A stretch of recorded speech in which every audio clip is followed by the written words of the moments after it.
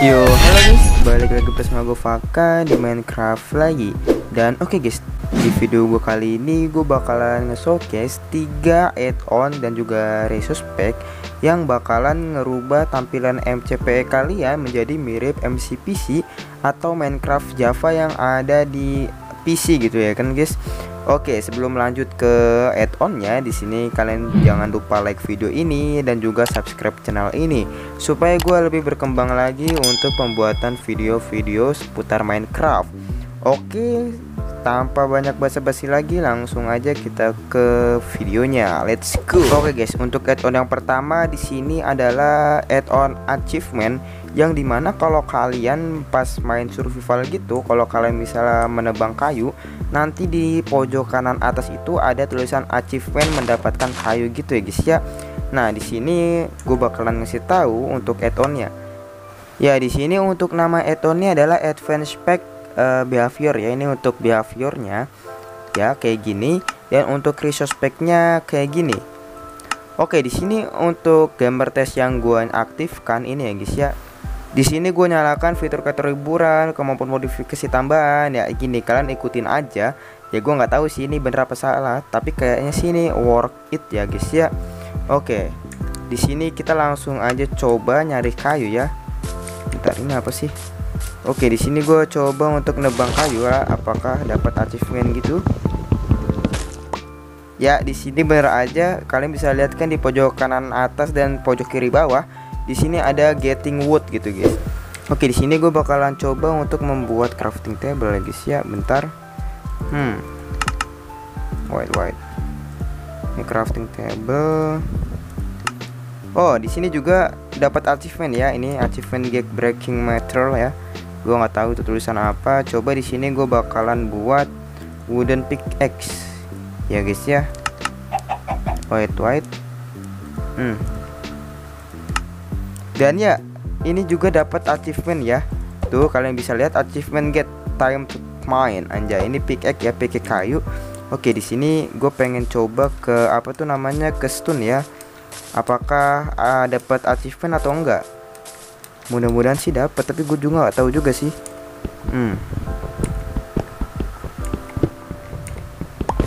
Oh dapat coy. Ini tulisannya kemajuan zaman batu ya tapi ininya pakai wooden pickaxe gitu guys. Tampilan achievementnya. Oke di sini gue pengen coba ganti ke stone pickaxe ya. Lanjut let's go. Oke lanjut. Gue ganti ke ya ini dan ya ini dapat lagi ya getting upgrade. Ini sepertinya kayak ke upgrade gitu ya. Oke di sini gue pengen cari apa tuh namanya? Or or ya. Dapat apa enggak ya? White. Oke okay, di sini gue coba ini ya ke apa ini namanya? Oh ini nggak dapet coy. Nggak ada tulisannya. Coba ke sini. Oh ini juga nggak dapet coy. Apa ini kayaknya nyambung ke yang batu ya? Kayaknya sih nyambung gitu coy. Soalnya tulisannya kemajuan zaman batu gitu ya kan gue juga nggak tahu sih oke di sini gue pengen buat pedang ya white white ini pedang dapat kan oh pedang nggak dapet coy Oke di sini coba gue pengen bunuh ini sapi ya. Oh dapat coy. Achievement get cow tripor gitu, ya kan? Coba ini ke. Oh ini nggak dapet coy. Ternyata nggak semua gitu ya kan? Oke, okay. oke okay, guys, mungkin segini dulu untuk add-on yang pertama dan ya di sini gue bakalan lanjut ke add-on berikutnya. Let's go. Oke okay guys, di sini untuk add-on kedua yaitu the book screen resource pack ya. Ini resource pack bukan add-on. Jadi ya aman gitu kalau buat Minecraft kalian yang masih murni gitu tanpa add-on. Ya di sini tuh the book screen tuh kayak yang kayak koordinat-koordinat banyak itu ya guys ya. Yang kayak di PC-PC gitulah, gue juga kurang tahu. Oke di sini langsung aja langsung kita coba ke dalam wordnya let's go. Dan oke okay guys untuk add-on yang kedua ya di sini kalau kalian misalnya player HP ya nggak pakai keyboard sama mouse di sini ya di sini gue contohin ya. Nah di sini gue kan kayak nggak pakai keyboard sama mouse ya ini ada analog jalan sama lompatnya. Nah kalian bisa lihat di sebelah atas ya, ya samping tombol pengaturan yaitu ada menu F3 ya di sini kalian pencet aja F3 F3 di sini bakalan langsung muncul the book screen ya. Nah di sini bisa kelihatan FPS terus ada E E nya itu tuh entitas. Entitas itu maksudnya kayak mob-mob di sekitar kalian. Nah di situ juga ada tuh Minecraft World ada koordinat ada pancing apa itu ya? Gue juga kurang tahu.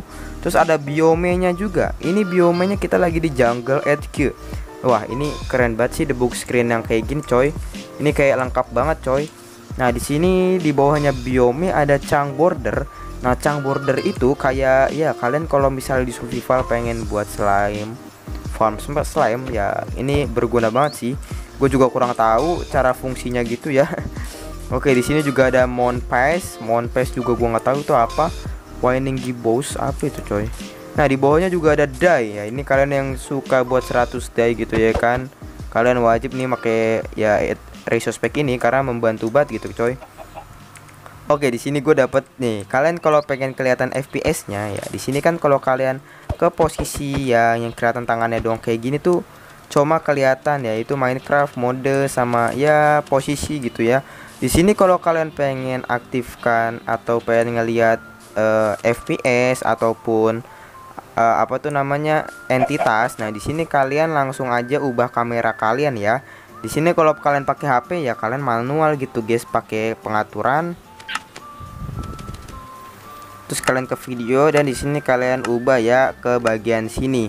Ya di sini langsung otomatis ke ubah ya. Di situ ada tulisan FPS dan entitasnya. Kalau kalian yang pakai keyboard di sini ya kalian tinggal pencet apa tuh namanya F5 ya kayaknya. Ya di sini kalian langsung bisa tuh kalian bisa langsung cepet ya. Nah, di sini gue cuma dapat 20 fps an coy HP gue tuh kentang coy kalau kalian tahu ya. Oke. Nah, di sini kalau kalian yang pakai keyboard mainannya, di sini kalian cukup uh, pencet F8 aja. Nah, di sini bakalan langsung bisa ke on off ya tuh kalian bisa lihat sendiri dan pastikan kalau kalian pengen aktifkan ini di sini kalian ke pengaturan ya terus kalian ke video dan di sini the book screen itu dinyalakan ya guys ya. Kan ini pengganti the book screen apa ya pas itu ya? Lupa gue pokoknya kalian ke pengatur ini the book screennya tuh kalian nyalain ya. Kalau kalian nggak nyalain tuh nggak bakal ada the book the book the book screennya gitu guys ya. Oke, okay. oke, okay, so mungkin segini dulu untuk tekstur atau resource pack yang kedua. Oke, di sini lanjut aja kita ke resource pack atau add-on yang ketiga. Let's go. So, untuk add-on yang ketiga ini add-on yang terakhir ya. Untuk add-on yang ketiga ini Rayons Java Combat add-on. Ya, ini add-on ini tuh kayak ya di MCPC gitu. Jadi kalau kalian nyerang pakai pedang gitu ada efek slashnya gitu ya ini add-on ya bukan resource pack ya di sini kalian pasangnya tuh harus di wordnya bukan di awal menu tadi. Ya di sini kalian pasangnya tuh dari behavior dulu ya. Dari behavior atau paket perilaku bahasa Indonesia-nya. Di sini kalian aktifkan ya. Maka di sini habis itu kalian otomatis di sini bakalan langsung ke aktif ya. Jadi kalian nggak boleh dari resource pack dulu gitu. Harus dari behaviornya dulu. Dan di sini untuk gamer testnya ya kayak gini sih sama aja kayak tadi gak usah diubah kayaknya sih worth it gitu. Gue belum nyoba. Oke langsung aja kita coba ya let's go. Oke di sini di awal masuk uh, ada tulisan ya ini add-on apa ini by Ryons jadi jika kalian pas awal nggak ada muncul kayak gitu di situ kalian coba reload dari wordnya kalian keluar dan masuk lagi siapa tahu worth it gitu. Nah di sini untuk add-onnya di sini bakalan gue jelasin ya. Nah untuk tampilan ini diubah ya guys ya. Nah, untuk tampilan ini kan biasanya ini bukan bukan pedang gitu gambarnya ya kan. Kalau yang normal. Nah, di sininya diganti gitu ya kan. Ini juga diganti jadi bot. Oke, di sini langsung aja gua ambil pedang iron ya, coba dan juga gua ambil shield. Ya, di sini untuk pedangnya kayak gini, guys. Nih, ini udah kepasang ya. Oke, untuk di sini gue bakalan cari ya mob dulu ya oh jangan cari gitu ya. Kan ini kan main kreatif gitu coy. Kita langsung cari aja gini spawn pick ya babi. Hmm. Oke okay. di sini langsung aja gue spawn. White white. Dan ya langsung aja gue coba nyerang. Oh kok? Oh kalian bisa lihat ya? Ada efek slashnya gitu coy. Tuh oke nah di sini juga kalau kalian perhatikan ya di bawah situ tuh nih bentar ini shieldnya gue copot dulu ya kan nggak kelihatan soalnya. Nah di sini tuh kalian bisa lihat ya untuk di bagian bawahnya itu kayak ada loadingnya gitu. Ya ini mirip banget cok. Nih kalau kalian kita ganti ini juga tuh ada coy. Tuh keren banget coy ini tuh. Nanti bakalan gue zoom ya biar kelihatan. Ya ini gue coba lagi. Tuh. Anjay ini keren banget coy. Ada suaranya juga ini kalau kalau uh, kumpul ini bakalan kena semua gitu. Sebentar. Ya di sini kalau kalian kayak ganti gitu tuh ada logo loadingnya gitu guys tuh. Oke di sini gue coba ke zombie ya. Ini bakalan kena semua soalnya.